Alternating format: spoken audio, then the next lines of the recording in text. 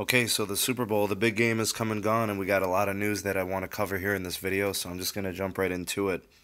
Uh, so, what I'm going to start with is just a little bit about Verizon and, and kind of what happened with the Super Bowl and the days leading up to it and what they've been up to. So, we all know Verizon has, you know, big time deals with the NFL. They've got contracts, game deals, advertisements, etc.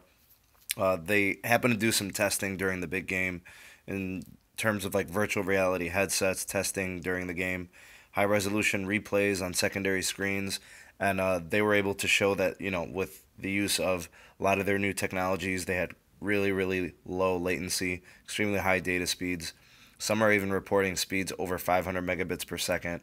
I'm not sure what devices they were using or what devices actually could be used for that testing, but apparently that was going on. They were doing some on field demos with real NFL players wearing you know, specialized goggles and helmet mounted cameras where they're doing like passing, catching, like real game speed uh, gameplay. So uh, I guess that was going on. And um, I guess some other things in terms of the network performance during the game. Uh, Verizon customers used almost 19 terabytes of data on the actual day of the Super Bowl. Uh, 50% of the users at the Super Bowl were Verizon customers, so that's a huge network load. Uh, last year, I think they were at 45%, so that's a 12% increase. And um, last year, they had 11 terabytes of data used, and then two years ago, 7 terabytes. So it shows you how much more network strain uh, a lot of the networks currently have. Uh, the data spikes for this year were during kickoff, uh, during the fourth quarter when Tom Brady fumbled, and then the biggest spike came during the halftime show. So Facebook, Instagram, Snapchat pulling tons of bandwidth, really taxing the network in terms of spending, you know, Verizon dumped $612 million into uh, improving the network for this event. And of course, those network improvements will stay. It's not like they're going anywhere. Uh, also, they staffed 150 people on the tech side uh, to support, you know, any type of setbacks or issues uh, during the game uh, or the day, for that matter. Um, in terms of the commercials, uh, Verizon kind of tapped in with the first responders, you know, answering the call advertisement where they basically showed like distressed citizens needing rescue, uh, trying to kind of use the emotional, compassionate type tone to it. Uh, the flood victims, the hurricane victims calling for help, and uh, you know them kind of being the first responders. And then from like the T-Mobile side, we saw their commercial, which really was kind of like a social equality theme. You know, change starts now, showing all the babies of different races. Uh, really, they were just super cute babies, very very cute and adorable um, you know, T-Mobile is a very progressive company, you know, and they're into like being leaders within the uh, within the market, being difference makers. You know, they have this young, energetic uh, feel to them as a carrier, and I think industry wide, um, you know, people respect that. You know, no matter what they think of the business side. So it was kind of cool to see that. And then also, um, just as a side note, uh, there seems to be some kind of a SIM card hijacking scheme going on with T-Mobile. You may want to kind of figure this thing out. Um, give it a search. It's like a phone number port out scam where people are uh, scamming, uh, basically calling T-Mobile or going into carrier stores and impersonating victims, requesting a new SIM card and stealing people's like phone identities. Uh, so you may want to check into that. Make sure your accounts are secure and see what the deal is with that. In terms of the Sprint commercial, uh, artificial intelligence was kind of like their their uh, claim to fame on that.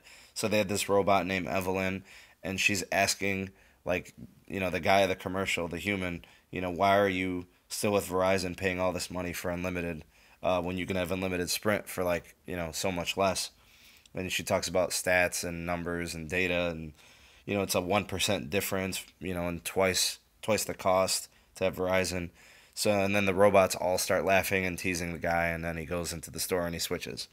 Uh, so that's kind of like what happened there. Uh, now let's get to a little bit of performance results from the networks during the Super Bowl. So according to Ookla speed test, which seems to be like you know pretty much what everybody uses to speed test for the most part, T-Mobile's download speeds uh, in terms of averages came in at 120 megabits per second, about 121. Uh, Verizon disputes this and says it's unreliable, and they have a small amount of uh, devices that were tested. Uh, AT&T uh, came in with 60 uh, megabits per second on the download, and Verizon came in with uh, 55 megabits per second on the download. Sprint came in last with 34. So, you know, looking at the upload speeds, you could see T-Mobile did pretty good at almost, you know, 29 megabits per second, Verizon with almost a little bit over 19, AT&T with 9 and Sprint with a lowly 1.6. So, uh, you know, this is what I see from Ookla. I mean, it's pretty consistent. Now, Verizon did their own personal like third-party testing through a company, a firm called P3, and they actually saw Verizon at 61 megabits per second AT&T at 57, T-Mobile at 40, and uh, they didn't even have Sprint, you know, in any type of notable uh, numbers. So I'm not really sure why, but they tested uh, four iPhone 8s at different times of the day, uh, all each with a different SIM from a different carrier. So they were testing each network, and those were the numbers they saw. And I guess there was another company. Uh, Tutela is the name of it, and uh, they confirmed these results. They had identical testing. So I don't really know who to believe per se, but the Ookla testing that's pretty consistent. T-Mobile continuously comes out on top. Uh, we see the same thing from OpenSignal too, and then um, you know Root Metrics, JD Power, they always seem to be like with Verizon when it comes to the awards. So you know take it as you may. You know you guys can speculate who's telling the truth and who's manipulating data, but I just wanted to present those things to you guys. So let me know what you guys think of the results from the speed testing from the networks, and um, let me know what you think of any of those commercials if you liked them or if you thought they were, you know, I don't know, kind of boring or if you're looking for something more exciting. You know, any of the data things that I presented. Uh, let me know what you guys think of them in the comment section below. So that's it for this one, guys. Thank you for watching.